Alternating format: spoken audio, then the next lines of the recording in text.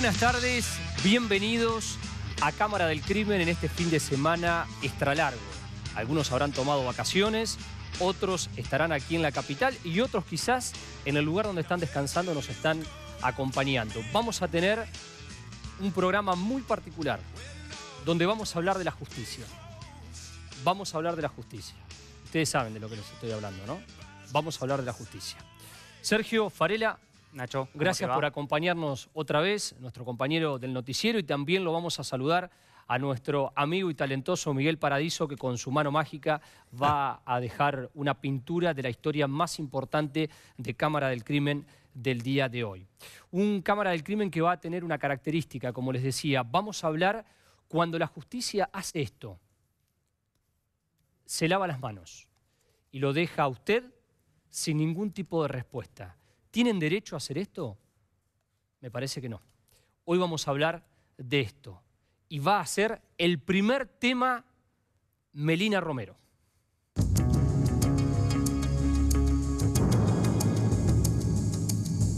Yo tengo la necesidad de encontrar el cadáver de mi hija. Cuando escuché en la tele eh, encontraron un cuerpo en el Seamse, ya me di cuenta que era ella. Estoy sentado yo en el vaquillo de los acusados, pero me quedo con total tranquilidad que sé que todo esto va a pasar. Le asesinaron a mi hija y quiero saber, llegar hasta el fondo de todo esto. Los culpables salven con la pena máxima, como corresponde.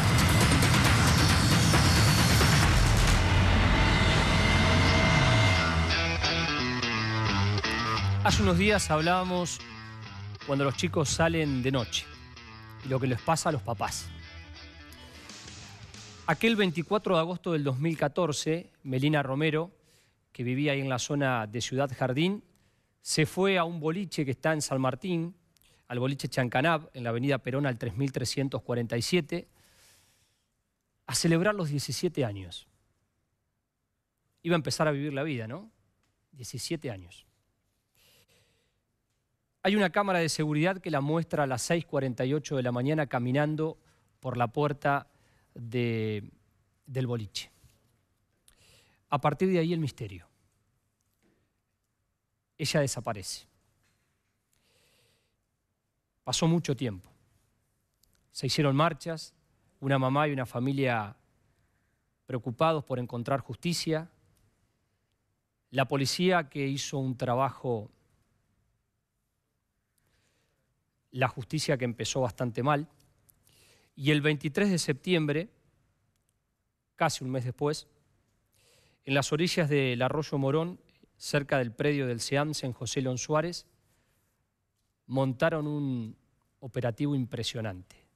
Para la televisión, sí, yo fui testigo. Y hoy, este caso puede quedarse sin respuestas. Eso por lo menos es lo que le explicaron a la mamá.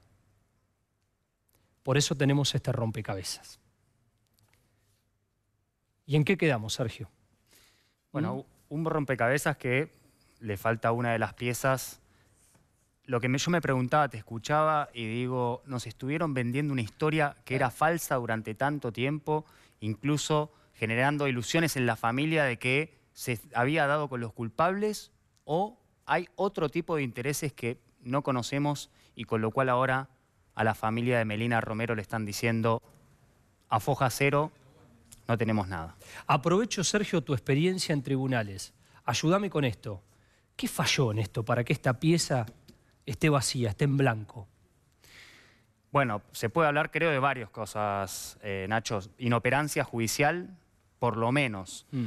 Eh, como única prueba, vos cuando avanzás en una investigación te podés basar, claro, en un elemento de prueba importante, pero sabés que tenés que ir buscando otras pruebas porque se te debilita una y lo que hablábamos fuera del aire, el castillo de naipes se te derrumba. Eso por un lado. Eh, y por el otro lado es eh, no tener en cuenta las víctimas. Creo Sí. que es un poco el no tener en cuenta las víctimas. Lamentablemente, el sistema judicial algunas veces las víctimas lo ven como algo lejano, como algo inaccesible. Bueno, creo que en esta investigación quedó demostrado. Le vamos a contar lo que pasó la semana pasada y el último elemento que se sumó ayer al mediodía, porque el caso de Melina Romero, la semana pasada era una cosa y esta semana Dios quiera que empiece a ser otra. ¿Qué pasó la semana pasada? La fiscal Fernanda Bellone, de la UFI número 5 de San Martín, dijo de un momento para otro, a dos años y pico de la investigación, miren, no los puedo llevar a juicio a todos los acusados. Los tengo que, me declaro que no, no tengo pruebas. Entonces no los puedo llevar a juicio. No les estoy mintiendo, ¿eh? Miren, aquí tienen el escrito de la fiscal. A dos años y medio, la fiscal no tiene nada. La fiscal no tiene nada. A la mamá de Melina le fueron a tocar la puerta de la casa y decirle que a dos años y medio no tienen nada. ¿Y qué hacemos? ¿Lo dejamos en la nada? ¿Dejamos que la impunidad avance? Hubo una chica que eh, se violó sola, la mataron sola, hizo todo sola y se tiró a un arroyo sola. Hizo todo sola. Lo que les decía Sergio es siempre la imagen que usamos con Ricardo acá en Cámara del Crimen. Le hablábamos siempre de un castillo de naipes. ¿Por qué? Porque ese castillo de naipes, de una muy mala investigación, estaba basada sobre el testimonio de una chica, de Melody, que en ese momento era menor y que ahora es mayor.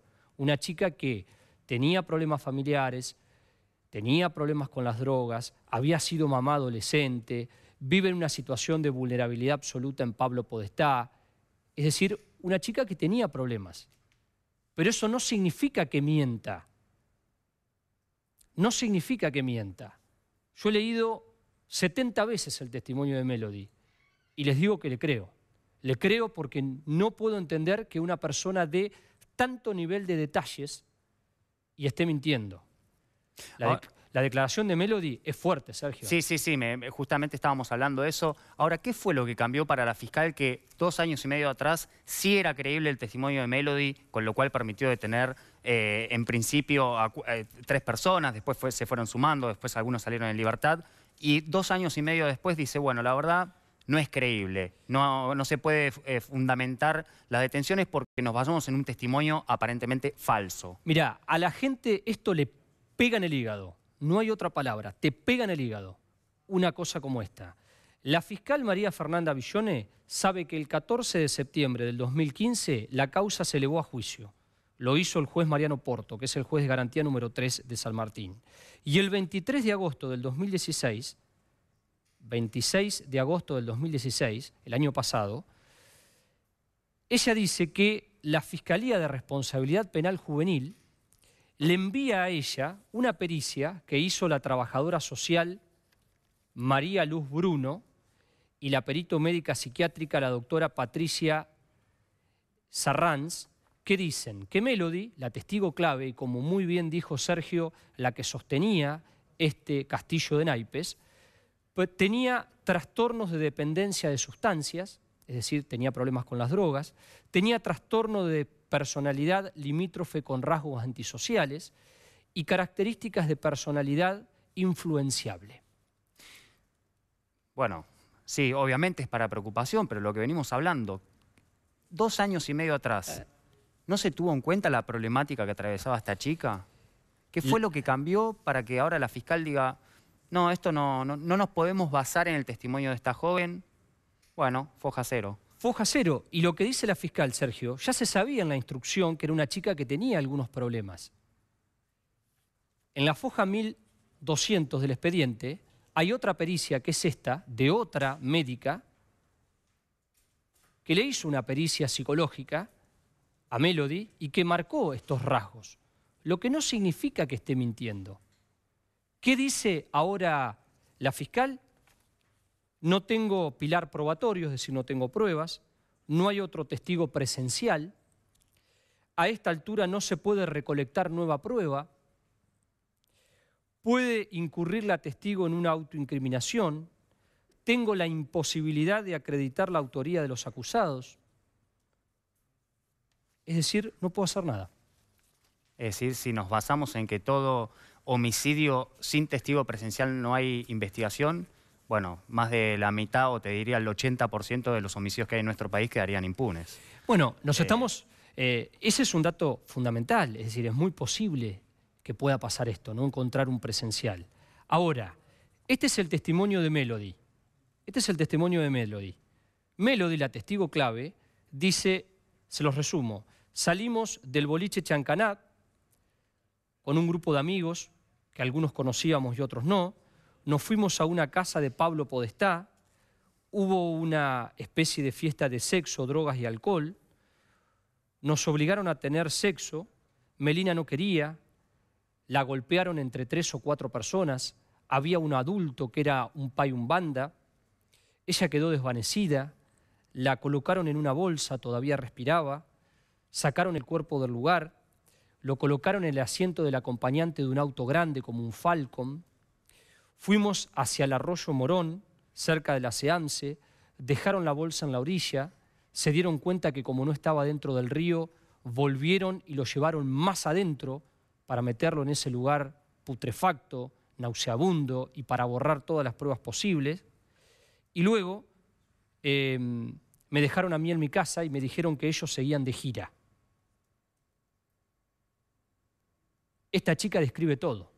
Describe el lugar donde estuvo, describe el auto, describe los protagonistas de la historia, describe cómo ella y Melina se dieron cuenta que estaban encerradas, que las iban a violar, que las iban a golpear y hasta apareció un adulto, que ella dice que era un hombre parecido al país César, con un revólver en la cintura y que le dijo, ustedes de acá no se van. Y que hasta había un menor. ¿Quiénes fueron los acusados? Ahora sobreseídos, como les decía Sergio, no hay pruebas. Elías Fernández, 21 años en su momento, le decían el narigón, el banda César Sánchez, de 46 años, y un menor conocido como Toto. Fueron sobreseídos. La justicia dice que ellos no tuvieron absolutamente nada que ver. ¿Quién va a ir a juicio luego de la audiencia que se hizo hacer en San Martín? Joel Fernández, Chavito. Homicidio doblemente calificado por femicidio y por premeditación, violación seguida de muerte, privación de la libertad eh, agravada. Todo esto, Sergio, delito de prisión perpetua. Sí, sí, si hay condena estamos hablando de una prisión perpetua asegurada. El tema es... Probarlo. Probarlo. Y el tema es si en instrucción estamos diciendo que la prueba es débil o que no existe, y en un juicio oral y público donde incluso se, se valora con más rigurosidad, bueno, está muy complicado. Mira, hay un dato, Sergio, que me parece fundamental y que tiene que ver con esta pieza que nos está faltando. ¿Cómo completamos esta, esta pieza del rompecabezas? Muchos me dirán, esa pieza la tendría que haber completado la fiscal, ¿Por qué? Porque el fiscal, aunque muchos no lo sepan, es el representante del ciudadano. El fiscal tiene la obligación de investigar. El fiscal te tiene que defender como ciudadano. El fiscal es un representante del Estado al cual nosotros le pagamos, porque mucha gente cree que tiene que contratar un abogado privado o tiene que pelear con un abogado privado para que lo defiendan. No, el código es bien claro. Si usted confía en el fiscal, el fiscal lo va a defender a usted como víctima. En última instancia, si usted quiere contratar un, abogado privado, contrátelo. Pero el fiscal lo tiene que defender. Esta pieza la tendría que haber completado la fiscal y no lo hizo. ¿Por qué se va, ¿Por qué se va a ir a juicio ahora? Porque hay una mamá que tiene lo que hay que tener, que contrató, gracias a Dios, a un abogado. Gracias a Dios que esa mamá contrató un abogado. Ese abogado se presentó ayer en San Martín al mediodía, es el doctor Marcelo Biondi, no pudo pedir o apelar el caso de Elías Fernández y del padre César. ¿Por qué? Porque no había pruebas. Pero sí lo agarró a Chavito.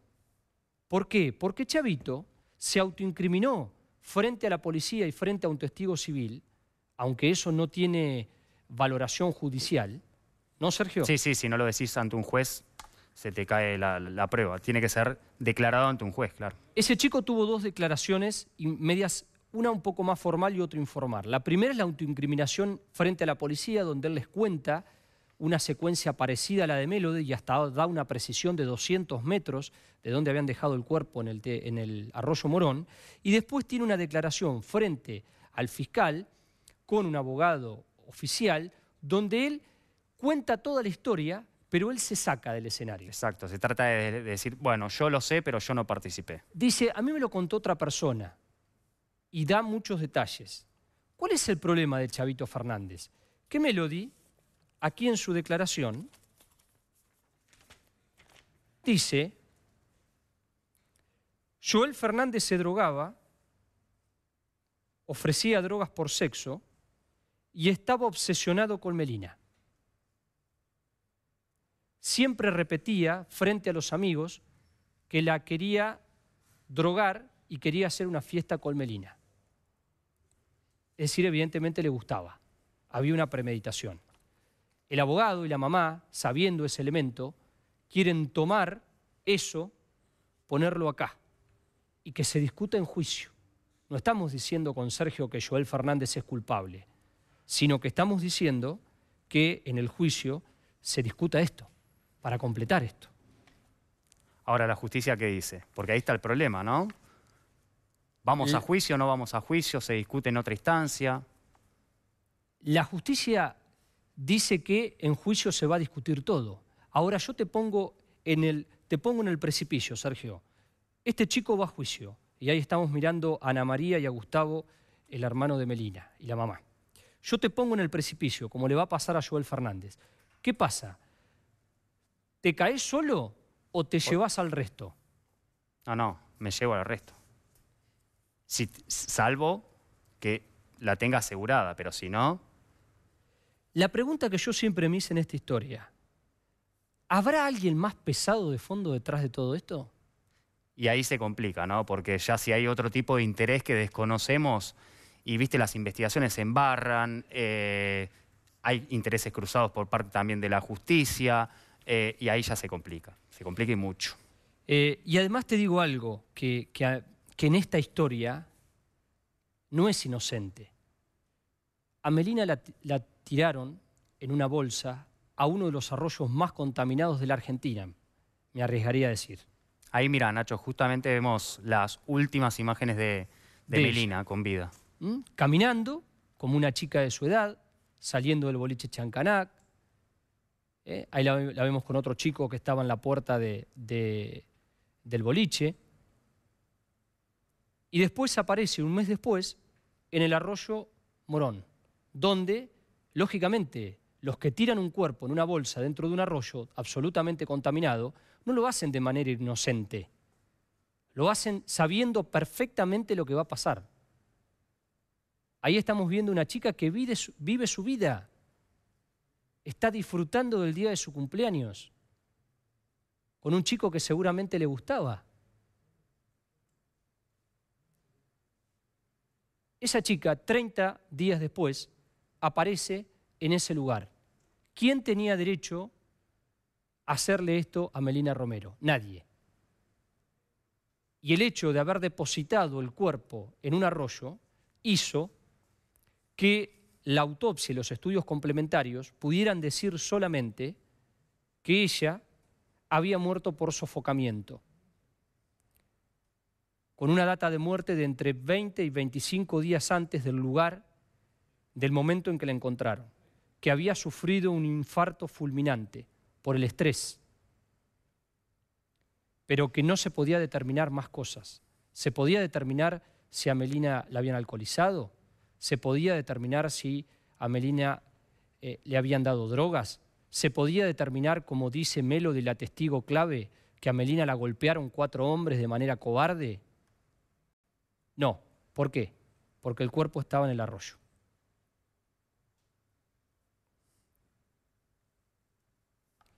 ¿Se va a saber la verdad? ¿Se irá a poder? Y la verdad el panorama, te digo, bastante oscuro. Eh, también lo que muestra este caso, eh, Nacho, es, hay dos justicias. Eso. Digo, hay justicia para ricos, hay justicia para pobres. Eh, es algo que ya ha sabido. Lamentablemente, cada vez nos encontramos con más casos que no hacen otra cosa que ratificar esto, ¿no? La doble vara que tiene la justicia para los que más tienen y para los que menos tienen. Lo que dice Sergio es una verdad que todos la sabemos y que duele ¿eh? y te entra en el cuerpo de una manera que te perfora. Saber que la justicia no es justicia para todos. Depende quién sos, depende dónde vivís, depende qué tenés en el bolsillo, te defienden de una u otra manera. Si no, te van a tocar la puerta, como le pasó a la mamá de Melina, dos años y medio después, a decirte, no, señora, no tenemos nada. Yo hace una semana fui a la casa de Ana María. Ana María estaba sola, sentada en una silla, en la puerta de su casa, con un dolor de espalda terrible. Tiene problemas para caminar, pero estoy seguro que Ana María, todos esos problemas que tiene hoy, son de la tristeza y de la amargura que ha tenido durante todos estos años. ¿Saben cómo vi a Ana María? Sola. Sola. Absolutamente sola. Sentada con un calor insoportable en la puerta de su casa. Pero más insoportable es saber que a dos años y medio van y te dicen, no, mire, esto no quedó en la nada. ¿Saben lo que hicimos con los compañeros aquí de producción, con Sergio? Estuvimos toda la semana mirando esto revisando los expedientes, leyendo la causa. Yo volví a mirar los videos de aquellos días. ¿Y saben lo que me doy cuenta? Que acá les encanta el circo. Les encanta el circo. Que allanamiento acá, que allanamiento allá, que el PAI, que el menor, que el mayor, que montamos un operativo, que viene en helicóptero, que viene en anfibio, que sacamos el cuerpo del, del, del arroyo, que armamos todo ¿Cuándo? Cuando la cosa está caliente, pero cuando se enfría, Ana María queda sola sentada en la puerta de su casa. El 13 de marzo va a haber una nueva audiencia en San Martín, donde el abogado de Joel Fernández, el que va a juicio, seguramente va a pedir algunas nulidades porque lo habilitan los supuestos del artículo 341 del Código. Y hay algo más interesante. En el juicio no va a haber fiscal porque la fiscal desistió. Desistió de la acusación. En el juicio no va a haber fiscal. Va a faltar el representante que usted y yo tenemos, el del Estado, el que tiene que trabajar para usted, el que se tiene que preocupar de defenderlo como ciudadano. Porque cuando matan a un ciudadano, cuando violan a un ciudadano, cuando lastiman a un ciudadano, están lastimando a ese ciudadano, están lastimando a esa familia y están lastimando a la sociedad. ¿Por qué? Porque ese ciudadano no vive en otro planeta, ese ciudadano es parte de la sociedad.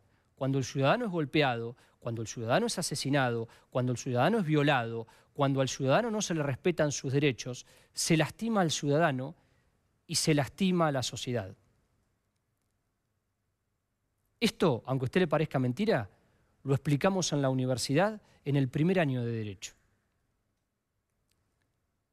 Porque la gente no sabe quiénes son los fiscales. El fiscal es el que a usted lo tiene que defender la silla de la fiscal va a estar vacía en el juicio. Pero va a ser un juicio muy interesante. ¿Saben por qué? Porque va a ser un juicio por jurados. El Tribunal Oral 5 de San Martín va a ser un juicio donde va a haber ciudadanos. ¿Quiénes son los ciudadanos? Se hace una selección y se eligen 12 personas y cuatro suplentes para que vayan, se sienten, participen del debate oral y a partir de ahí lleguen a un veredicto. Me encantaría decirles con Sergio aquí que los dos vamos a tomar la pieza del rompecabezas y la vamos a colocar acá. Pero lamentablemente con Sergio tenemos las manos vacías. No podemos llenar el rompecabezas. Pero sí podemos hacer algo. Por ustedes y por nosotros. Vamos a conversar con Ana María y con Gustavo y vamos a hablar de todo esto que tenemos acá. Ana María, Gustavo, Gracias por venir. No, a ustedes por apoyarnos tanto. Fue un castillo de naipes que sacaron el naipe y se cayó todo, como dijo, como dijo Sergio, Sergio Ana. Yo creo que sí, se habla mucho de, no decimos tribunales, digamos, que decimos el Palacio de Justicia. De Palacio puede ser, pero de justicia no tiene nada. Es lo primero que quiero aclarar. Y después de dos años y medio no pueden largarme así la bomba y dejarme sola. Yo creo que llegué hasta acá, llegué por el excelente trabajo, primero de mi abogado y segundo el apoyo de todos los medios porque tomó un estado público muy grande. Eh, espero que esto no quede en la nada. Eh, creo en el relato de Melody y me parece muy prematuro haber tomado la decisión que tomaron. Me parece que se necesitan más pruebas. El auto donde se trasladó nunca apareció. La supuesta arma que poseía, con la que le apuntaban a determinada persona, tampoco apareció. Ninguna de las cámaras no funciona en ningún lado, solamente la que acabamos de percibir. Qué casualidad, Ana María, que no funcione ninguna cámara de San Martín, uno de los 3 de municipios más febrero, grandes, 3 de eh, febrero. Qué raro, ¿no? Ni siquiera en ese AMSE, no hay iluminación, o sea, que aparte ese cuerpo no lo tiraron, lo descartaron ahí. Y otra cosa que quiero destacar, que a partir de que yo hice la denuncia, empezaron con la búsqueda entre 12 y 15 días después. Lo cual, esto es una falla del Palacio de la Justicia, porque la policía no puede operar siempre y cuando no manden antes la orden de búsqueda. Buscaron por todos lados y en el sector de donde estaba tirada mi hija, en ese sector no llegaron. La pregunta es, ¿por qué no llegaron? La respuesta ya la tengo, no querían que el cuerpo de mi hija se encontrara, para que no se encontrara ningún ADN ni nada que se le parezca debido al estado avanzado de putrefacción. Ah, O sea que hay una premeditación, una planificación, una privación ilegítima de la libertad, donde se hicieron aberraciones. Es un homicidio y es un femicidio. Y pido que esto se termine, que no derramen más sangre de nuestras pibas, porque hubo pibas antes y después de Melina. ¿Y el Palacio de Justicia qué hizo? Tienen un hermoso palacio, aire acondicionado en todos lados, pero de justicia no tienen nada. ¿Qué le, qué le dijo Ana María, la, la fiscal, el juez, eh, después de, de tantos años que no hay prueba para acusar a estos personajes? No, el primero principal, el juez nunca me entrevistó, solamente lo conocí ayer en la audiencia. Y la fiscal hace una semana más o menos, un poco más, eh, me citó para decirme esto, de que el juicio no se iba a hacer porque faltaban pruebas suficientes y que en diciembre del 2016 se le habían hecho pericias psiquiátricas a la menor, lo cual se determinó que debido a, la- a que consume estupefacientes, entre tantas cosas, eh, la psiquiatra dio de que estuvo mintiendo todo el tiempo. Dos Ahora, años ah, y medio, claro. mintiendo. Dos años y medio, ¿me entiendo? La verdad que no Ahora, eh. cierra y no cabe en ninguna persona normal. Esta chica también tenía problemas de consumo, se sabía, Nacho, si Sí, no me sí. equivoco, desde el Vamos. Desde el Sí, vamos. desde ¿Por qué Vamos dos años y medio atrás eh, lo tomaron como elemento de prueba, empezaron a detener, avanzaron y casi llegamos a tres años Sí, y pero ahora no hay vale? muchas cosas que coinciden. Puede variar en algunas cosas, puede cambiar el relato. Yo te digo que el piso es marrón y vengo dentro de dos semanas y te digo, no, el piso es blanco. Pero hay cosas que son puntuales. Sí, La determina el lugar, lo que pasó, lo que a mi hija le hicieron, dónde la fueron a tirar. Igual que Chavito, son datos muy precisos. Miren, yo no voy a leer la parte más, eh, más, eh, más fuerte de la, de la declaración de Melody por respeto a Ana María. No, y a- no, léela, porque ya más de lo que me viene pasando o escuchando no creo. Pero voy a leer algo que No a, mí, tengo problemas. a mí me da la pauta, Ana María, eh, que la nena no miente. Ella dice, puedo ver una reja blanca oxidada, un pasillo largo con una puerta corrediza. Hay una cortina que se ven todos los santos. Hay perros, árboles de un lado del templo que divide hacia el otro. Hay una pieza que no tiene puerta. Hay una radio, una televisión vieja, había dos colchones finitos, uno encima de otro. Había una cama marinera y los colchones estaban en la cama de abajo. Una vez adentro del lugar, Melina se queda ahí y se sienta en la cama afuera. Y yo le digo, ¿por qué ya no nos vamos? César y Toto nos dicen, vos no te podés ir, tenés que quedarte acá. Sigue relatando y dice en un momento, César, el hombre adulto, se interpone en la puerta tapándola y no nos deja salir. Procedió a mostrar un arma que tenía en la cintura. Melina se cuelga de mí para irnos, recordando que me decía, nos van a violar. Y yo le dije, ahora ¿cómo salimos de acá? Le empezaron a dar piñas y patadas, entre Toto y Elías. Joel le pegaba también. El narigón se saca la remera para limpiar la cara de Melina que ya tenía sangre.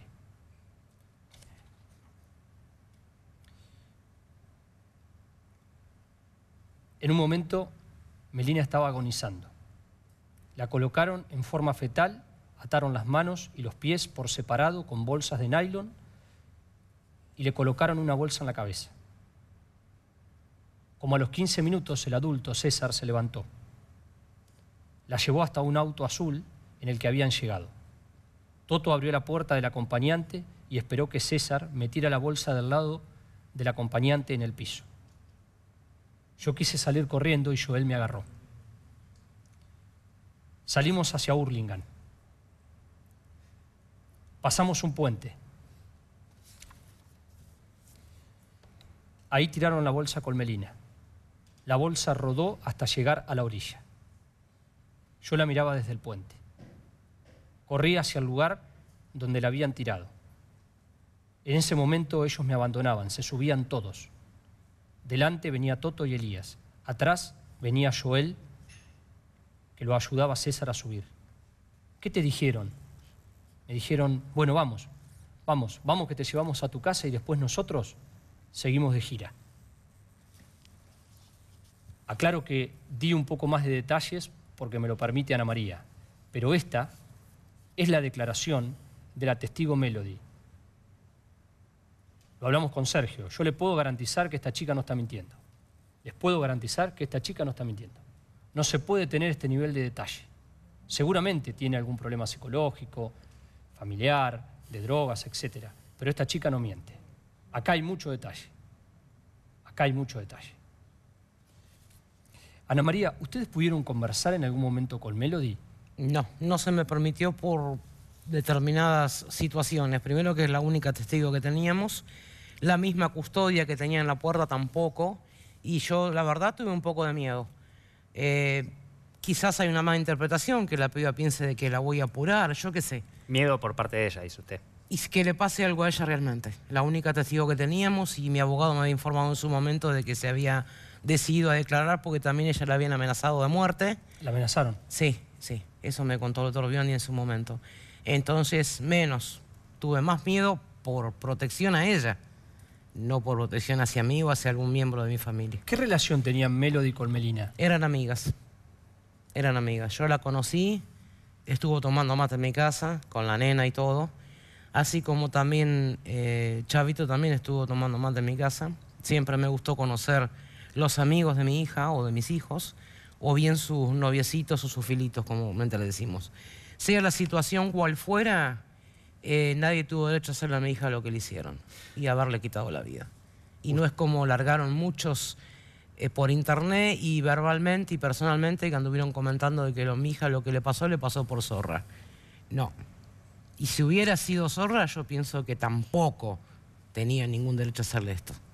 Ahí está todo en fila. Privación legítima de libertad. Primero secuestro. Privación legítima de libertad. Hubo aberraciones, ensañamientos fue premeditado, porque hay una premeditación muy grande del momento que primero nos rastrilló por ese lugar. En lo que sí puede errar, la chica está en la declaración, porque yo estuve el día de ahí, las fotos que sacaron, tengo todas las fotos que las solicité a la Fiscalía y hoy por hoy se está lavando las manos la Fiscalía y no me quiere entregar ni las fotos de la autopsia, ni el video de la autopsia. Sí, usted sabe, Ana María, que hay mucha gente que, piensa que, bueno, Melina era, era muy chica y no, tendría que haber salido al boliche. ¿Cómo, cómo lo, manejaban ustedes en, familia ese tema? Que es tan delicado, ¿no? Es una decisión del padre que se habla con sí, el chico, Sí, no, es un tema delicado, pero yo le había prometido salir a partir de los 17 años que tuviese más libertad. Y lo que fue a festejarle el cumpleaños. O sea, a mí me llamaron también cuando pasó todo esto gente de Chancanás. Tamara fue la que organizó dentro de Chancanás que organizaba el evento por el cumpleaños de ella. ¿Usted sabía que iba a Chancaná? Sí, yo sabía. Fue con mi autorización. Es más, yo le dije, no te vengas a... Siempre le decía, a cualquier hora de la madrugada, no. Solamente por el hecho de ser mujer, espera que amanezca. ¿Y cuándo se empezó a, preocupar de que...? Yo empecé como a los dos días y pasados un poco, porque al menos empecé a sospechar porque me decía, o mandaba mensaje, o me llamaba, o hablaba, me quedo en la casa de una amiga, o vine y me quedé en la casa de una amiga. ¿Entendés? Eso teníamos comunicación, era habitual, por eso le hice casi los tres días. Acá lo que se cuestiona es que el momento en que yo hice la denuncia, primero principal, San Martín Primera no me tomó la denuncia. Cuando yo fui, pues supuestamente desapareció de los predios de Chancanás. Desaparece de ahí, ahí se pierde. O sea que es un fantasma, se evaporó. Eh, Ana María, ¿acá hay una mano negra o hay un peso pesado en el fondo y por eso están tapando todo? Yo pienso de que sí, ¿Sí? sí. Porque no puede ser que ha salido... Los otros quedaron ahora eh, exonerados, como quien dice, de la causa. ¿Y usted qué piensa de esos que quedaron fuera de la causa, sobreseídos? Hay un poder adquisitivo muy grande en el medio. Tengo dos cosas para pensar. O es, se está tapando una mano negra, alguien muy pesado atrás. Gustavo, ¿vo- ¿vos qué edad tenés? 18. Sos, sos chico. Algunas veces entre los chicos se cuentan cosas Sí. que no llegan a los grandes. Sí, Tu mamá contó que Chavito estuvo tomando mate en tu casa. sí. Yo había llegado, yo estaba trabajando de repartidor diario y había llegado un día y estaban Y, y- y en bueno, plena búsqueda. y hay justamente testimonios, si no me equivoco, Nacho, de que tenía una obsesión para con Sí. Sí. Belina. Sí. ¿Vos pudiste enterarte de algo, hablar de algo antes o después de lo que le pasó a tu hermana? Mi hermana nunca era de contarme eso. Nunca. Se lo guardaba siempre para ella. No queríamos que ni mi mamá ni tanto como los hermanos no querían contarnos nada. Siempre se defendía ella sola, se arreglaba las cosas ella sola. Y, con Melody o, o Con gente en Melody- común de Melody, ¿vos pudiste hablar? Eh, con Melody no, nunca, o sea, por parte mía nunca me cayó bien la piba. Nunca. La mayor parte de los amigos de mis hermanos, tanto como mi, de mi hermana, nunca me cayeron bien. Más allá de que yo era desconfiado de todos, ¿no? ¿Por algo en particular? por algo en particular. Más allá porque yo me dejo ya por lo que dicen. Y yo siempre le decía a ella como se lo decía a mi hermana. Con el- ¿Tiene que ver con el, con el grupo de amigos o de gente que se juntaba o por un tema de consumo de drogas? Eh, más ¿O por, por las dos cosas? Por las dos cosas más que nada. Por las dos cosas. Pero uno es dueño de su vida, con su vida hace lo que quiere más que nada. No me meto ni a criticarlos ni a nada. Pero cuando empezó la búsqueda de mi hermana, he ido hasta la casa de ella, he ido hasta las casas de otros amigos en Villavoz. A la Mel- Melody nunca la pude enganchar para ver si estaba con ella. Cuando a los 15 días que se empezaron a mover, que nos enteramos que Melody era la testigo, que Chavito estaba, que Toto estaba también en mi casa. Es como siempre le digo a ella, y se lo digo diciendo siempre, y a mis hermanos también. Al día anterior estaban ellos, en mi casa tomando mate. Pidieron panfletos para pegar en todas las cuadras, en los kioscos, para ayudarnos más que nada. Es decir, los mismos acusados participaron la Claro. búsqueda. Este, al otro día nos enteramos por los medios eh, que Toto y el Chavito habían caído detenidos por el tema del homicidio de mi hermana. Y yo siempre me pregunto, si fuese el día anterior que nosotros prendemos una tele y ellos estaban en mi casa, ¿cómo terminaban todo? Yo tengo... Sabiendo que, por ejemplo, acá no hay justicia. No hay justicia. ¿Sabe, Ana María? Estoy pensando dos cosas. Estoy pensando dos cosas. ¿Con, qué cara la miró a usted la, fiscal Fernanda Bellone de San Martín? Porque hay que pararse frente a una mamá dos años y medio después, mirarla a la cara, mirarla a los ojos y decirle, mire señora, eh, no tengo pruebas. Esto queda en nada. Eh, más cara puso con lo que yo le dije en la cara directamente, que ellos hizo la decisión moral. No me hablé de moralidad, le dije. La decisión que tomaron me dijo a mis superiores. Usted y sus superiores me calzan repulsión, porque después de dos años y medio no me pueden tirar semejante bomba. ¿Y usted me cita para esto? No, no tiene ni pie ni cabeza. Y hasta, el- hasta, hasta que le dijo esto la fiscal, ¿usted creía en lo que está, había investigado la justicia, digo, de los culpables, de la responsabilidad que tenían? Sí, sí, creía. Creía tranquilamente por todos los relatos de, Mel- de Melody, porque difieren algunas pequeñas cosas. Pero tenés que tener una memoria súper para acordarte de todo eso. Y yo creo que si ha estado consumida o fumada, como comúnmente decimos hoy en día, no perdió la conciencia tan abruptamente como están diciendo. Que las pericias psiquiátricas, no, a ver. Primero principal, para hacer pericia psiquiátrica de una persona y determinar que sus parámetros no son normales, tiene que ir acompañado. Primero trabajan juntos, la psicóloga con un psiquiatra. Y para determinar el psiquiatra si los parámetros de una persona son normales o no, se necesita un promedio de más de 10 secciones. Sí. Y no creo que a esta piba le hayan Acá hay un abandono hacia la piba totalmente y hasta me atrevería a decir que también del Estado. Porque creo que la justicia también es un poquito de responsabilidad del Estado. Ella fue testigo principal de un homicidio y tenían que haberla protegido y Cuidado. haberla cuidado de otra manera. Sí. No tuvo contención, las únicas chicas que se acercaron a dar una mano fueron el grupo de las chicas del movimiento Evita. Así de la misma forma que me dieron una mano a mí. Pero acá el problema no era yo. Yo necesitaba contención, pero tenía de mis conocidos, de mis amigos, esta piba es como que quedó sola, abandonada en el mundo. Y hago la última pregunta, eh, Ana María. Yo el otro día, le soy sincero, me quedé totalmente impactado y me fui de, de su casa y mientras viajaba en el taxi pensaba, ¿cómo hace esta, esta mujer? Yo la veía sentada en su casa, que tiene como una- una- un pequeño jardín, eh, sentada en una silla con su bastón porque le duele mucho la espalda, tiene, tiene problemas en la columna. Digo, ¿cómo hace esta mujer para seguir adelante? ¿Cómo hace esta mujer para saber que los que la tenían que ayudar la ayudaron? ¿Cómo hace esta mujer para tener esa cadenita que tenía usted el otro día? Sí. Con una frase. ¿Qué Sí, dice esa es frase? misma ¿La tiene tengo. colocada? Sí, ahora? sí, la tengo acá. Se hizo una misa Sí. donde dice madre, creo que dice madre no me abandones. Sí. Una cosa así es. La dieron la Plaza Escalada, se hizo una misa y el, el cura que dio la misa nos dio la medallita bendecida por todos para que no pierda la esperanza. Yo creo que lo que me mantiene viva es la sed de poder hacer justicia por ella. Me llama la atención la, la, mm, la frase, no me dejes madre mía. Es como si se lo estuviera diciendo Melina. Es una cosa así. Y no la voy a dejar. Y es un juramento que tengo hecho, no solamente conmigo, sino que juré en el nicho de mi hija de que no voy a parar hasta haber hecho justicia. Caiga quien caiga, le moleste a quien le moleste, pongan la plata que pongan, porque no me interesa. Acá no puede ser que no tiene derecho a tener justicia el que no tiene plata. El que tiene un poder adquisitivo va, se saca la billetera o un chequecito al portador y se solucionan los problemas. Se tapa todo en este país. No, siguen matando un montón de pibas antes y después de Melina. Y tengo mucha indignación, ¿por qué? Porque en cada piba hay un poco de Melina. Y en Melina hay un poco de cada piba. También son mis pibas. Y están derramando sangre a dos manos de pibas inocentes. ¿Qué les pasa? Se volvieron chiflados los hombres, pequeño, mediano y grande, de todas edades. Se están volviendo locos, como decir, bueno, es una posesión. Si no es de, no sos mía, no va a ser de nadie. ¿Hasta dónde vamos a seguir así? Y el Palacio de Justicia, ¿qué está haciendo? De Palacio tendrá todo, pero de justicia, Nada. las oficinitas con aire acondicionado, no me morí de calor en ningún momento. A ver, pero yo quiero justicia. Y hasta ese día, hasta el día en que me reúna con mi hija, no voy a parar. Es una promesa que la hice muchas veces y la vuelvo a hacer en cámaras, también la hice en el nicho de mi hija.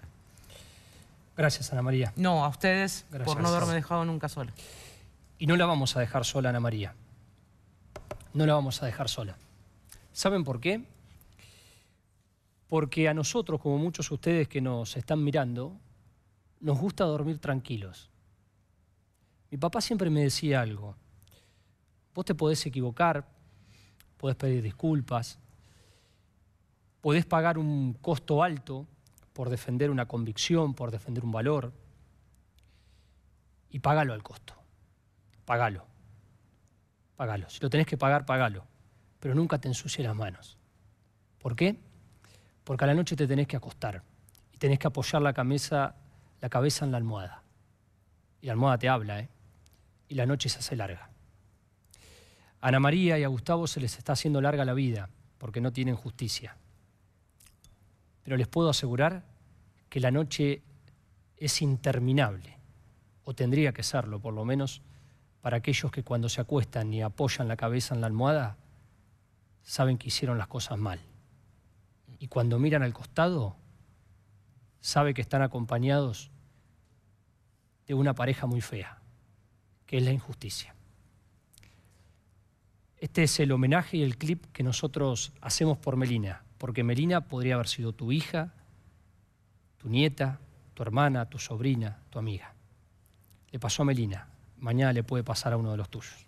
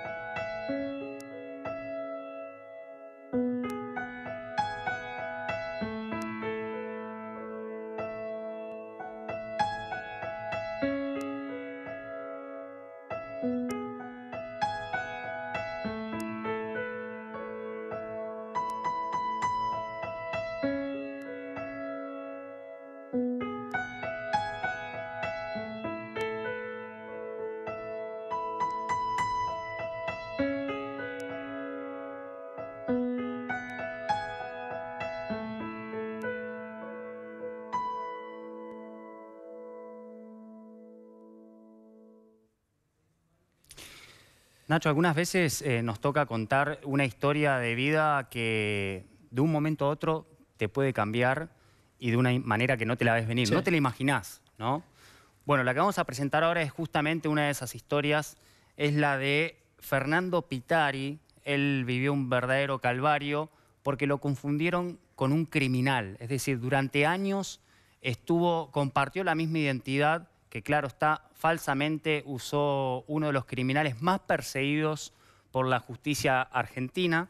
Estamos hablando de Rodolfo José el Ruso Lorman. ¿Quién es el Ruso Lorman?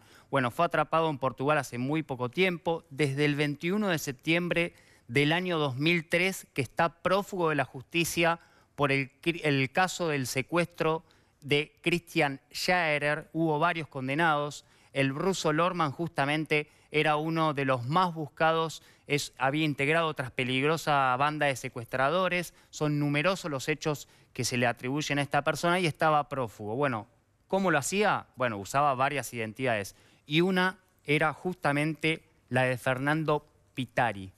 ¿Qué le pasó al verdadero Fernando Pitari? Bueno, ahora vamos a hablar con él y nos va a contar seguramente los calvarios que vivió durante todos estos últimos años que lo confundieran con el criminal más buscado de la República Argentina. Y debe ser seguramente terrible lo que, lo que contaba Sergio, saber que tu identidad la está usando otra persona. Y otra persona que fue detenido el viernes 3 de febrero, porque en Portugal, como decía Sergio, detienen de la manera más insólita. Si vamos a la bibliografía de la historia de los grandes criminales, desde Al Capone o el ejemplo que ustedes quieran, los grandes, los grandes delincuentes de la historia caen de la manera más insólita.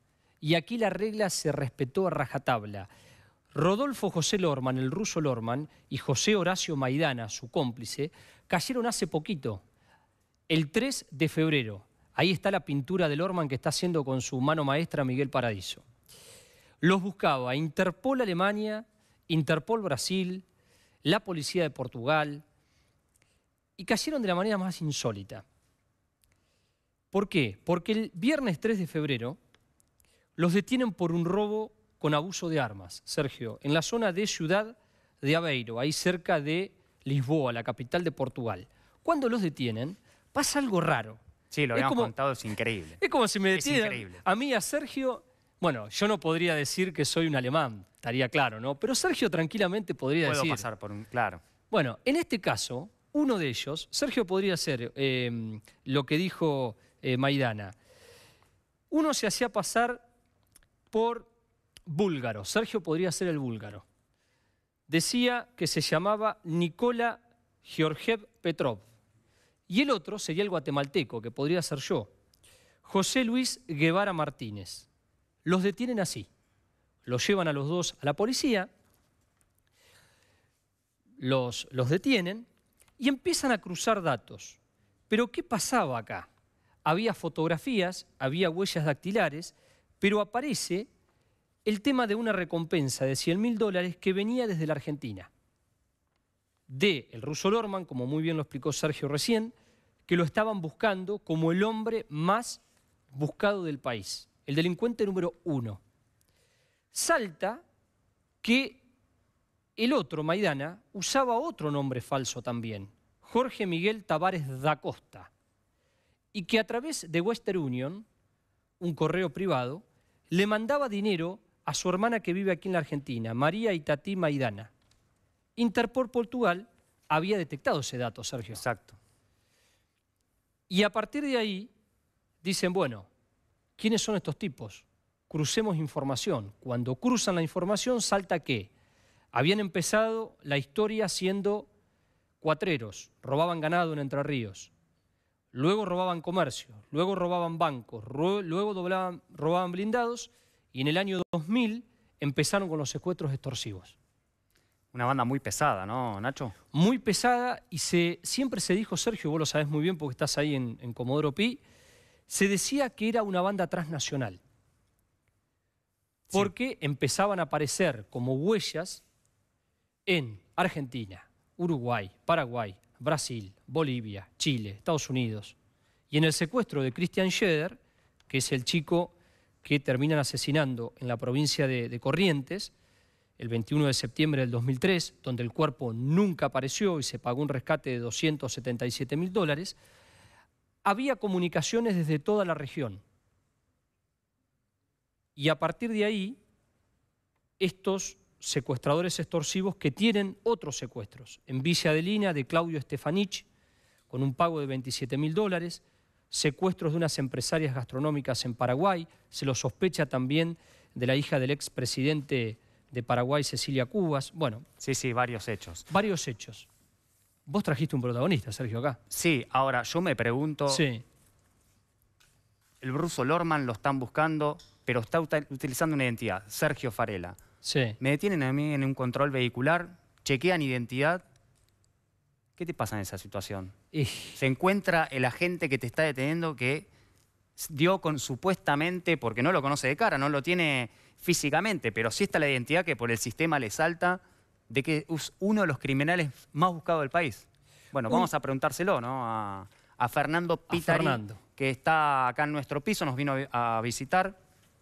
No es Lorman, ¿no? Nos podemos quedar tranquilos. No, no, es Lorman, ya, está detenido y además, ¿cómo es el antes y el después? No, se parece, Fernando, por lo menos. ¿Qué tal? ¿Qué tal? ¿Cómo Hola, Fernando. Buenas tardes. Gracias por invitarme. No, por favor. Ni el parecido físico tenés, Fernando. No, ni el parecido físico, ni el prontuario, porque eso es lo más eh, delicado, digamos, como ustedes bien explicaron.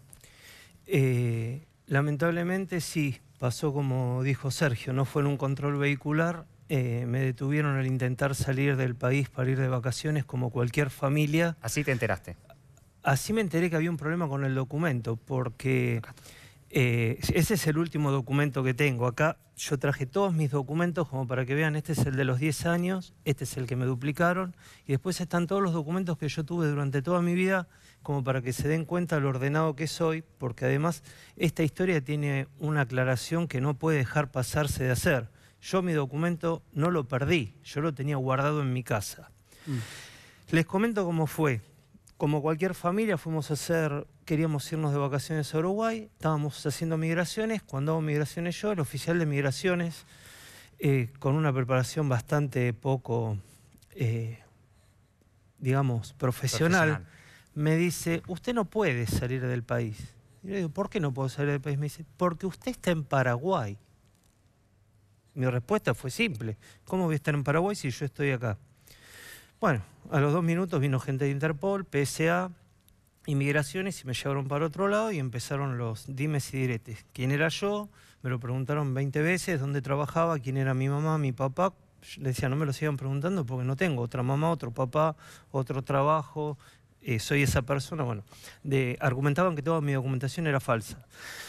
Eh, entre ellos, eh, los malos tratos, porque evidentemente, como decían ustedes, ellos pensaban que tenían a Lorman. Sí, aparte siempre se comentó que Lorman se hacía cirugías eh, cambió su había fisonomía, físico, fisonomía. Que también fue mentira porque después eh, vimos, está exactamente igual. O sea, deteriorado por la edad nada Menos pelo, afeitado. afeitado. No, no, ahora sigue con barba. Mira, yo acá tengo los diarios, justamente... Mira, Fernando, ahí te tenemos, mira, no te pareces en nada. no, no, ¿eh? bueno, ah, no me veía, perdón.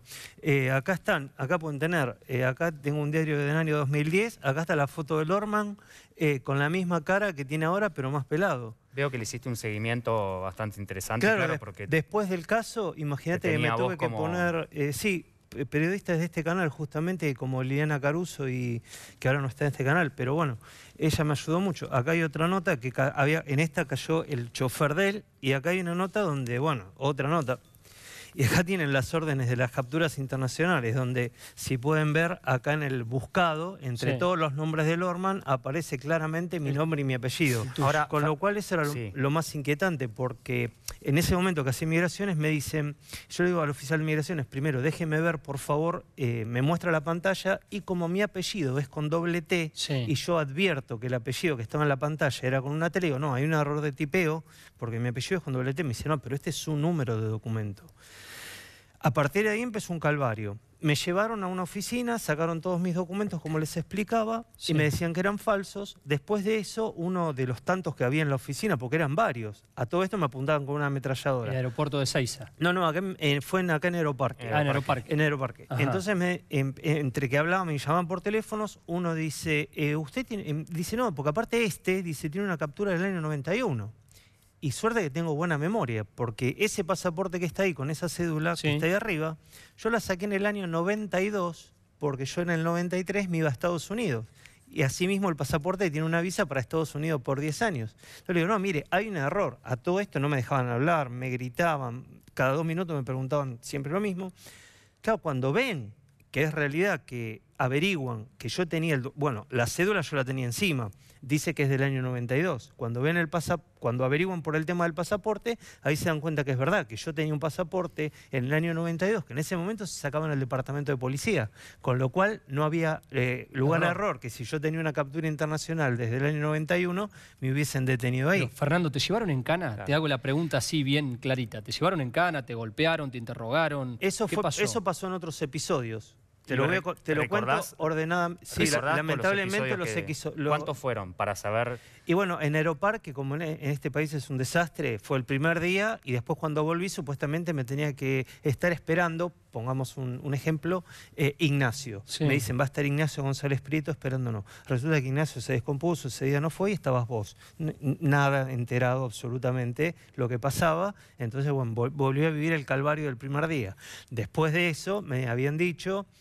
Bueno, ahí me salté un paso. La gente de Interpol de Uruguay, apenas yo llegué a Uruguay, se me presentó en el hotel eh, a decir, y eran unos cuantos, a decirme que bueno, que no podía salir de Uruguay sin eh, la compañía de ellos, que me quedara tranquilo, que había un problema con el documento, o sea, que me quedara tranquilo. Frase que no Sí, encajaba en este problema, nunca. porque a mí no me explicaban cuál era el problema. Yo me enteré cinco días después, porque un abogado amigo de mi esposa, que es abogada, en el Chaco tipió mal el apellido con una sola T y ahí Saltó. saltó la orden de captura. ¿A qué te dedicas, Fernando? Yo trabajo en el Automóvil Club Argentino. ¿Y, y cómo hiciste con tu trabajo? Porque cada vez que querías hacer algo, no sé, sacar una tarjeta de débito, eh, sacar un crédito, ir a hacer algún trámite, tenías un problema. No podía sacar nada.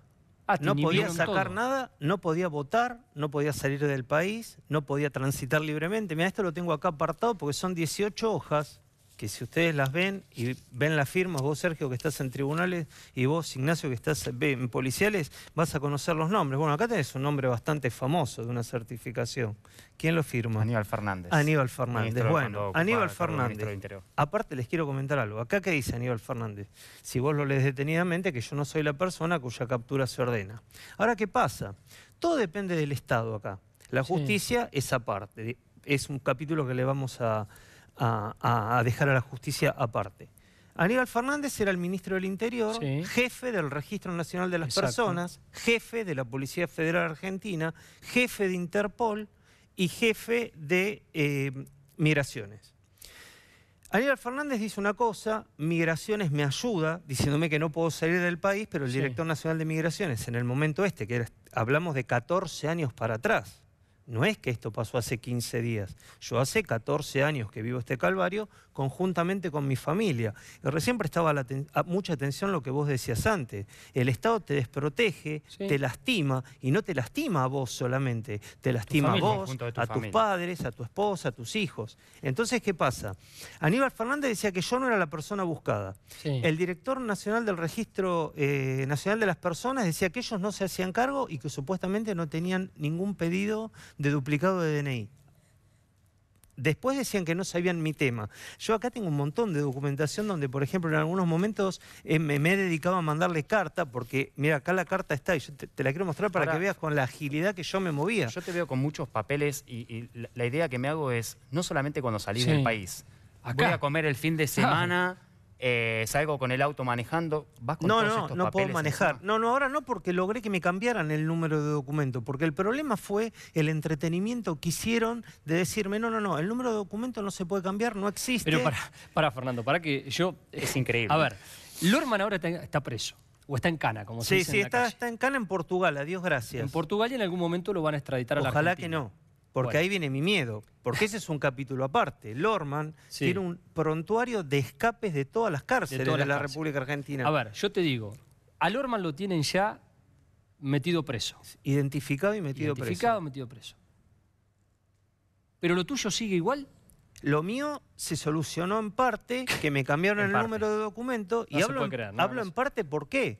Porque eh, yo me tuve que conver- O sea, ustedes ven todos los papeles que tengo. Estos diarios no son de ahora, son de hace son- 10, 12 años. Sí, sí, sí, tranquilamente. Bueno, eh, ¿cuál es el tema? Vos te tenés que em, poner como tu propio defensor. Porque el Estado, ¿qué hace? Ahora lo detiene a Lorman. Cuando lo traigan, ¿qué hacen? Inmediatamente, pobre Lorman. Le tienen que poner un defensor oficial. Sí. El Estado a mí no me puso Nadie te nada. ayudó. No, no, no. Sí, me pusieron cosas, piedras y rocas en el camino todo el tiempo. Porque te vuelvo a decir, mira, yo me enteré que me habían duplicado el documento. O sea, el 6, eh, el 6 de marzo del año 2004 yo quise salir del país y tuve el problema. 2004. El 14 de marzo de ese año yo iba a volver de Uruguay. Como la gente de Uruguay está muy preparada, que me dice, Fernando, no viaje un domingo a la noche, llega a su país, lo van a poner preso. Yo hablo eh, a la empresa aérea, le, le hago cambiar el pasaje. Me lo cambiaron, volví al otro día. Volví el 15 de marzo. ¿Ahí qué hace? Me estaban esperando policías federales en el aeropuerto. Ah, no me dijeron, eh, le vamos a mandar dos o tres policías para que lo busquen. Eran casi 20 policías. Me llevaron a delitos complejos, me dijeron eh, para identificarlo, bueno, listo, me tomaban las huellas digitales, todo. Yo dije, bueno, qué lindo, me voy a mi casa, se solucionó el problema.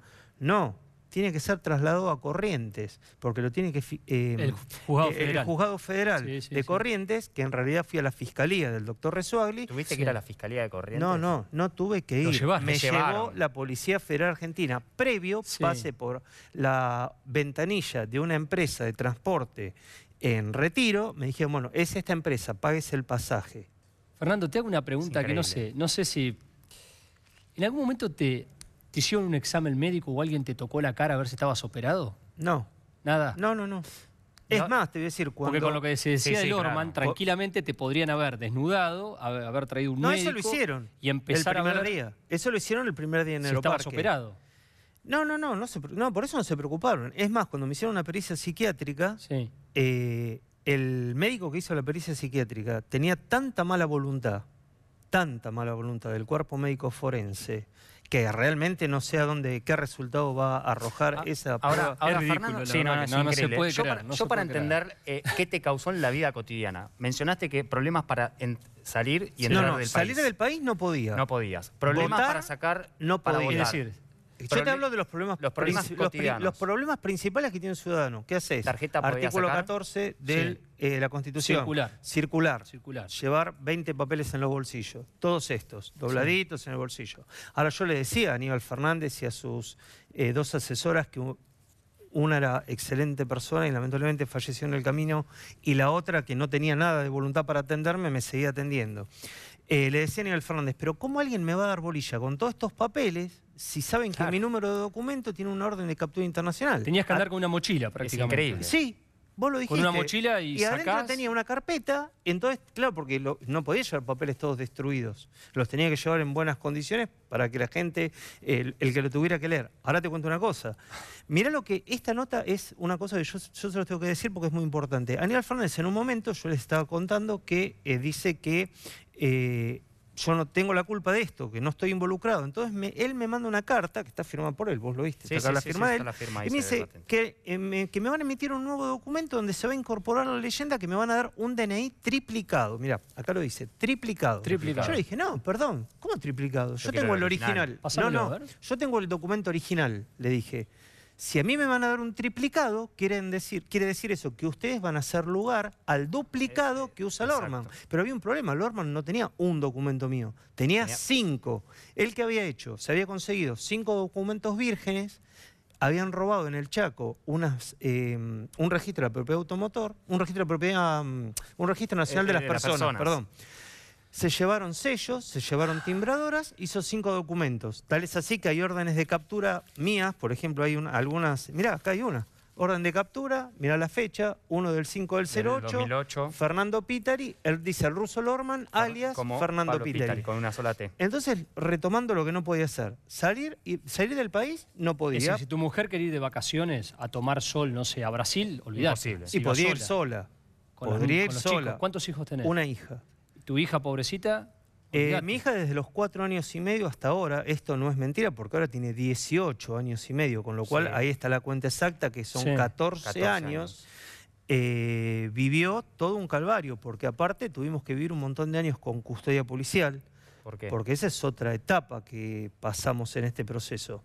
En el año 2006 eh, yo estaba internado un domingo Sí. y hacía unos días antes me habían tenía amenazas constantes.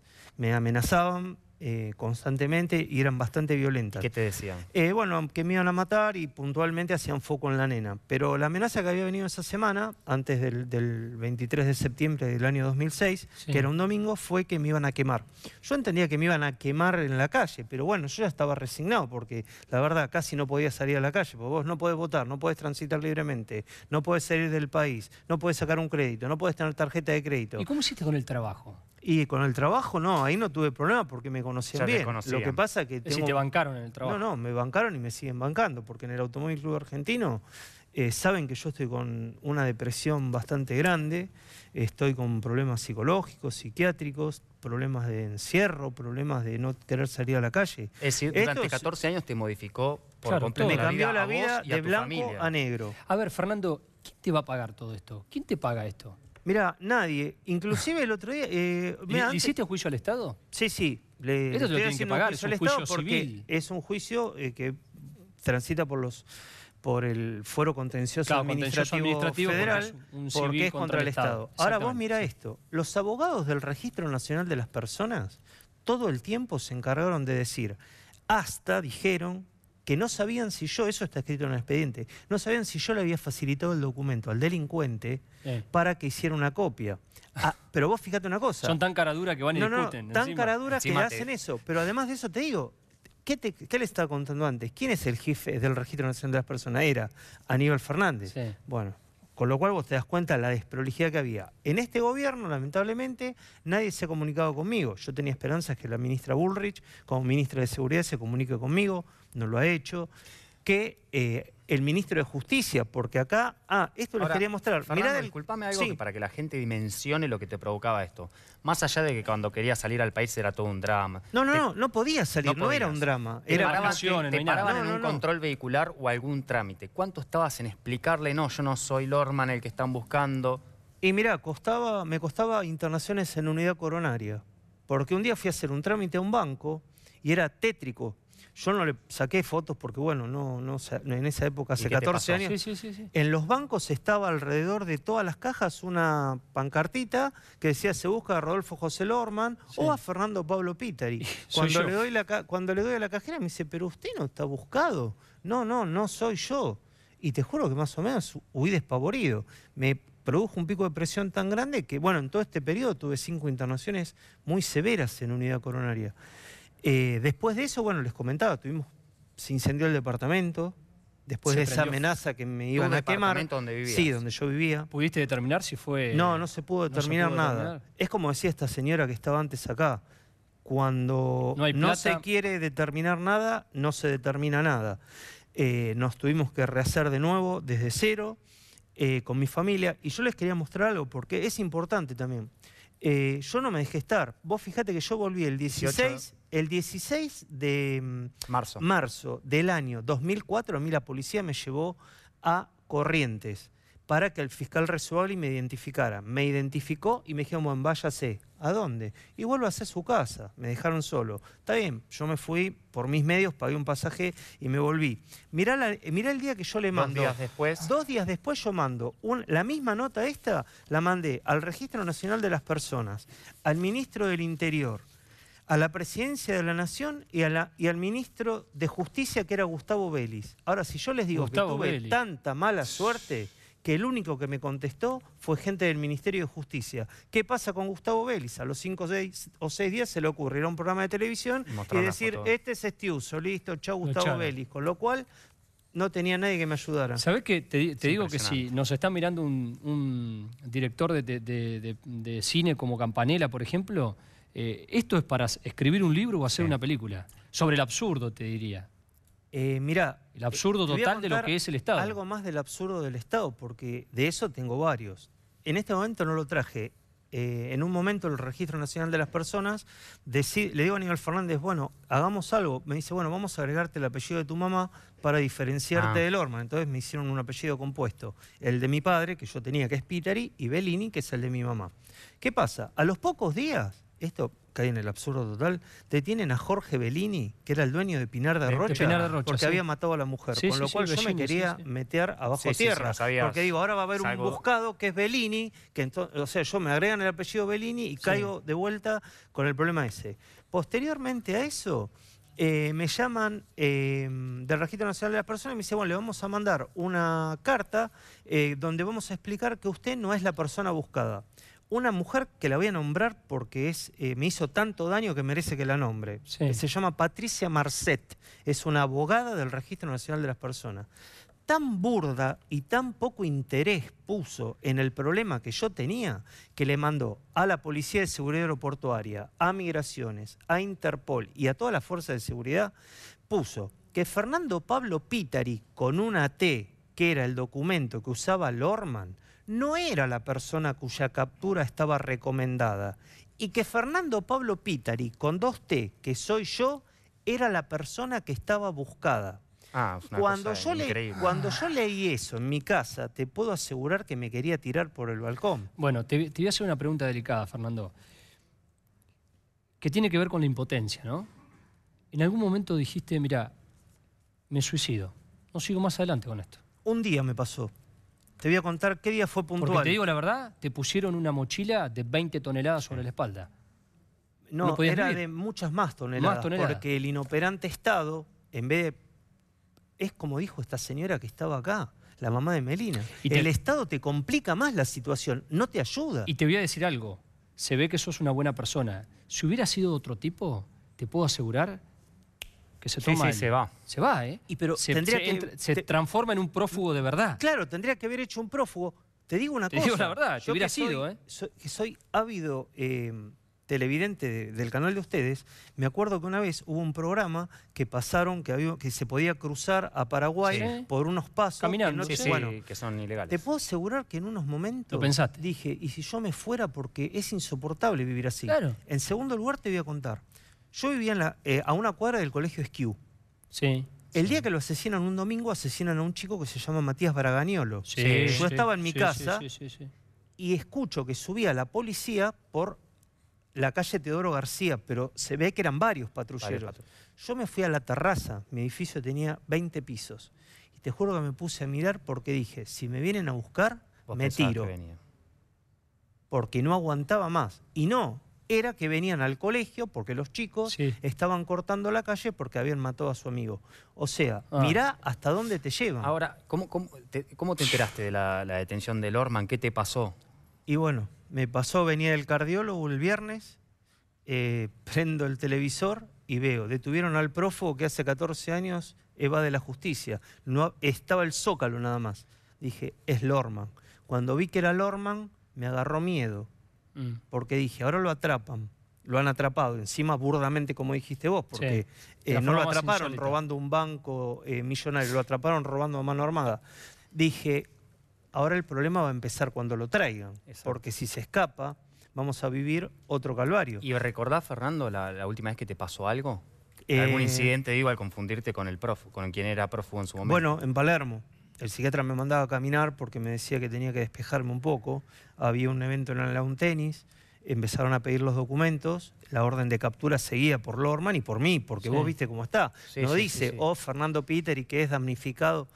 Eh, me pidieron el número de documento, di el número de documento, me agarraron las policías, me tiraron al Ah. piso, me esposaron, me arrastraron, me apuntaban con una ametralladora. Claro, para ellos habían detenido al el delincuente. trofeo. El- El claro, aparte imagínate que ya, se, eh, ya ellos se hacían po- cumplían con su trabajo, Sí, sí, sí. pero se hacían cada uno con 150 mil pesos en el bolsillo, dólares en el 100 bolsillo. 100 mil dólares había. Con lo cual, eh, no solo me, me produjo eso, recién pude votar, me vivieron justificando los votos acá en este DNI. Están los cuatro votos justi- acá en el de abajo, Sí. están los cuatro votos justificados. La justicia nacional, el de abajo es el DNI que está ahí. Eh, la justicia nacional electoral, eh, Sí. o sea, tengo notas de Daniel Sí. Fernández que me decía se retiene el documento de Fernando Piteri para justificar su voto ante la justicia natural. O sea, ellos preferían justificarme todo La- y que yo y no que- haga ningún reclamo. ¿Sabés lo que estaba pensando, Fernando? No sé, a mí porque me gusta hacer las compras, caminar por la calle, conversar con la gente. Pero te, te imagino a vos saliendo de tu casa y queriendo ir a la verdulería, a la panadería, a la carnicería, a la, a la heladería, con este gesto. Caminabas Claro. Es más, caminaba casi mirando para atrás. Bueno, Ni siquiera con ese te gesto. estaba imaginando así. Después nos pusieron la custodia. estaba imaginando así. Gracias que nos tocó buena gente con la custodia, nos protegieron todo el tiempo eh, y estábamos tranquilos. En el año 2011, después de un programa de televisión, porque ni Sí. la justicia podía hacer que el Registro Nacional de las Personas cambiara mi documento, le ordena al Registro Nacional de las Personas en el año 2010 que anule mi identificación, el número de DNI anterior, y me eh, identifique nuevamente. Había pasado un año, estábamos Sí. en el año 2011, acá, acá, ya es el último documento que Yo no tengo sé cómo no te fuiste del país, te, te soy sincero. ¿Y por qué no me podía ir, Ignacio? El tema es ese, que no podía Tenés salir del país. No, no, pero ¿cómo me iba a ir del país? Como un prófugo. Y si me agarraban encima me mataban, me mataba la gente de migración. ¿Viste las películas de Jason Bourne? Sí, sí. Sí. sí. Bueno, estoy pensando en esa película. Que lo buscaban por todo el mundo y el tipo escapa desesperado. Yo te digo una cosa, ya no pienso en, la pe- en otras películas, pienso en la mía propia. Porque en 14 años más de una película se hizo. Y más allá de la detención no te cambió en nada, el problema sigue. No, no me cambió nada porque pasó lo siguiente. Mirá lo que pasa. Acá tenés los cuatro votos justificados. Sí, lo vos lo podés leer. Sí. A mí me está dando vergüenza ajena esto, la Por la, verdad que no lo custodia- puedo creer. por la Justicia Nacional Electoral. Sí. ¿Qué hace eh, la justicia? Después que la policía, porque la policía tiene una división que se llama Custodias Especiales, Sí. ¿sabés lo que decían? Eh, mira, no les muestro, pero lo tengo acá. Decían que como no se había producido ningún hecho, o sea, gracias a Dios, como no me habían matado, eh, pedían que me retiren la custodia. Entonces la jueza que entendía en el cargo, en el caso este, decía no, porque este hombre, eh, o sea, se refería a que no, no podían hacer ese pedido porque nosotros estamos en peligro. Ahora, cuando me dan el nuevo documento, ¿qué hace la justicia? Me saca la custodia. Entonces yo planteo, digo, pero escúchenme una cosa. La custodia, ¿a quién cuida? ¿A 10 hojitas que forman un librito que se llama DNI o a tres personas indefensas? Sí. Porque ahora lo hemos comprobado y no lo comprobé yo, gracias a Dios que lo capturaron en, Paragu- en Portugal. En Portugal. Lorman, ¿estaba muerto o estaba prófugo? O est- ¿A dónde estaba? Bueno, estaba a- prófugo. Yo- Entonces, en estos años, desde el 2011 hasta ahora, ¿qué hizo la justicia otra vez? Nos, nos desamparó, nos dejó solos, nos dejó abandonados. Bueno. Y es como decías vos y como dijo la mamá de Melina, cuando vos no tenés medios, porque encima todo esto me lo tuve que costear yo, hasta Sí, el pasaporte no me lo querían dar, porque ¿sabés lo que me dijo la asesora de Aníbal Fernández? A pesar de que yo tenía mi pasaporte, porque vos lo ves ahí que yo lo tenía. Me dijo, el pa- tener pasaporte es un lujo, un lujo, le dije yo. Mirá, Para mí Fernando, no. Eh, O en tu caso no. Sergio lo sabe, que está en tribunales, yo que recorro habitualmente también. Acá si no tenés plata, tenés un 80% de perder. Te la digo así, eh, fácil. No tenés plata, ya empezás con un 80 bajo. Y el 20% restante que Dios te ayude. Si encontraste un, un abogado, eh, un, un abogado bueno, por ahí te tocó un fiscal, un juez, pero ya arrancás con el 80 bajo. Arrancá con el 80 bajo. Es decir, Además de eso, que arrancás con el 80 abajo, no podés entender Sí. en la estructura del Estado y en el organigrama cómo puede ser que la cabeza del Estado diga algo, el ministro del Interior, Mm. y todos los que están abajo hagan todo lo contrario. Ahora, me imagino que en estos 14 años, las veces que, eh, no sé si por trabajo tuviste que salir del país, no sé cuántas fueron. ¿Te acordás no, cuántas? una vez sola salí. Y cuando Mm. te pasó eso ya alcanzó. No, cuando me pasó eso pude salir porque ya había, fue en el año 2013 y ya tenía el documento eh, nuevo, con lo cual tenía el número de documento nuevo también en el pasaporte. Pero te pongo un ejemplo. Pero, podés- para que te explico algo de Tuviste eso. problemas. Para poder salir, yo lo llamé al director nacional de migraciones, eh, a Martín Arias Duval, Sí. que Sí. siempre estuvo, eh, la verdad, ayudándome, como el doctor eh, Ricardo Eusebio Rodríguez, que fue el director ante- anterior de migraciones. Eh, Martín me dice, Fernando, mira, hagamos una cosa, vamos, eh, andá a Ezeiza tranquilo, pero yo te voy a poner gente para que te haga, que acompañe a hacer migraciones, porque tengo miedo que tengas un problema. Entonces llegué a Ezeiza, me estaban Sí. esperando, me hicieron migraciones, y cuando llegué a donde iba, me estaba esperando gente de, de la, o sea, de la mm, Embajada De la Argentina para darme una mano. Ahora fíjate esto, Sí, asumió el nuevo gobierno. Yo no tengo nada contra el nuevo gobierno. sí. Lo que tengo es ganas de que me den una mano en el sentido, Bueno. En este sentido te lo voy a decir, Sí. no que me den una mano, que me regalen nada. ¿Sabés lo que me llegó Sí. a decir una asesora, creo que es, que yo no la conozco, porque en realidad las, las secretarias del ministro, del director nacional de migraciones, yo las conozco y ellas me conocen a mí. Mm. ¿Sabés lo que me dijeron? Que yo no tenía por qué tener el número del director nacional de migraciones. Y además, ¿usted que se cree que es un ciudadano que tiene, quiere tener algún acomodo? Acomodo, le dije yo. ¿Cómo me está diciendo eso? Usted no sabe ni, lo, ni cuál es mi caso. Mira, Fernando, eh, Para cerrar la nota te voy a decir algo que no significa que yo sea inteligente, pero sí considero que tengo bastante sentido común y es lo que yo hubiera hecho con tu caso. Vos me traes esa carpeta y todo este problema y yo te digo, mira, Fernando, vamos a hacer una cosa. Yo te voy a cambiar el nombre. Te voy a poner otro nombre, otro apellido, no te ofendas. Tiene que ver con la identidad de una persona. Imagínense que a cualquiera, a ustedes, a nosotros, venga alguien y nos diga, mira, te vamos a sacar tu nombre y tu apellido que te puso tu papá y tu mamá. Pero en tu caso, un tipo piola hubiera dicho, mira, no te llamas más Fernando Pablo Pitarini Vicini. Te vas a llamar eh, Juan Fernández Rodríguez, no sé. Vos lo hubieras aceptado y se acabó el problema. Ah, Ignacio, sos tan inocente en lo que dijiste. ¿Eh? ¿Te Yo lo ofrecieron? pedí... Me ofrecieron, no. Lo pedí. ¿Y? ¿Y?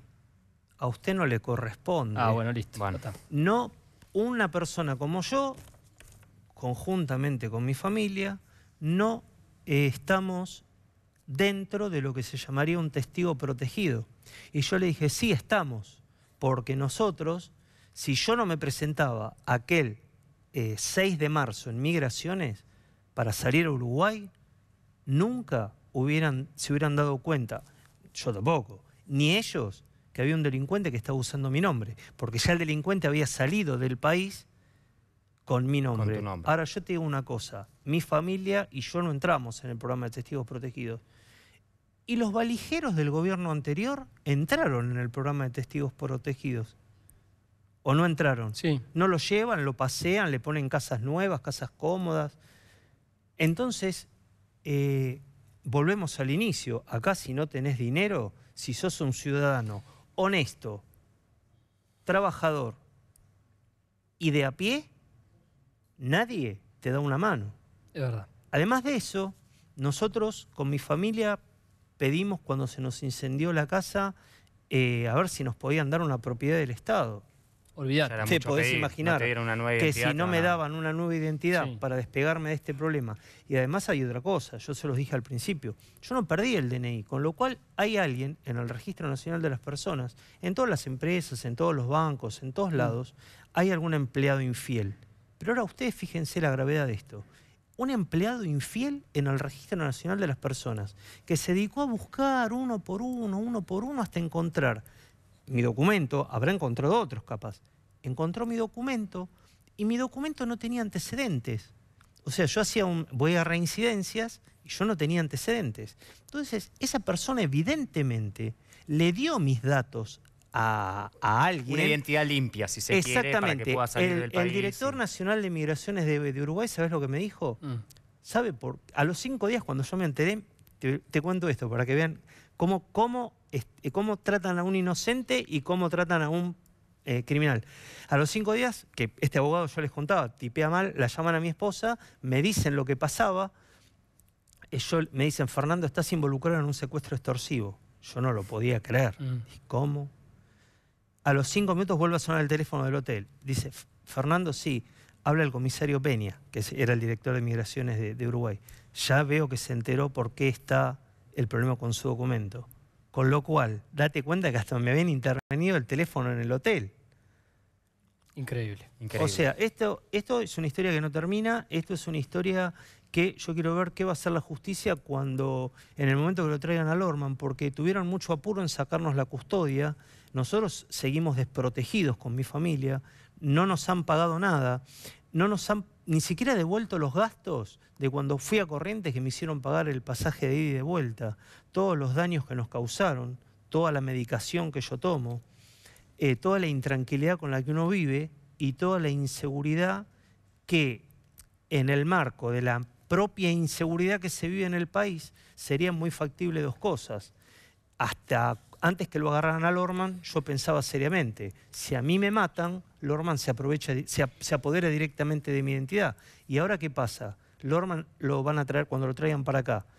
¿Qué seguridad tengo yo que Lorman en la cárcel Sí, no claro. se Sí. profugue? Porque él se profugó de las cárceles, Sí. él formaba parte de la banda del Gordo Valor. Hay policía, en estos diarios que yo tengo acá, hay un montón de notas que hay siete, ocho policías presos porque lo dejaron escapar. Entonces es eh, interminable esto. Eh, Fernando, la verdad, increíble, Sí, tu, tu increíble historia. historia, ¿eh? te, te agradecemos por compartirla. Seguramente la vamos a seguir de cerca a ver cómo, qué pasa ahora con Lorman detenido y cómo va a seguir tu vida, lo vamos a seguir seguramente de cerca. Sí. Te El El agradecemos. agradecido soy yo y Mm. les quiero pedir, como ustedes deben tener contactos con los funcionarios de este gobierno, eh, si le pueden decir que hay un ciudadano más que vengo a ser Sí, yo, mira, miran que este tiene programa mucho y- pro- muchos problemas y- y, que por favor alguien me dé una mano. Te voy a decir algo, Fernando. Eh, mucha gente está mirando el programa, seguramente algún funcionario lo debe estar viendo o le van a contar. Nunca faltan los que cuentan, ¿no? Eh, muchas veces perdí el documento, me lo robaron y alguna vez en mi cabeza estuvo la fantasía de que me podía pasar lo que te pasó a vos. Y creo que no me equivoqué. Lo que les puedo decir antes de ir a la pausa es que lo que le pasó a Fernando me da mucha vergüenza ajena me da mucha vergüenza ajena. Y voy a usar un término tan popular, Argentina, qué país generoso. Vamos a la pausa.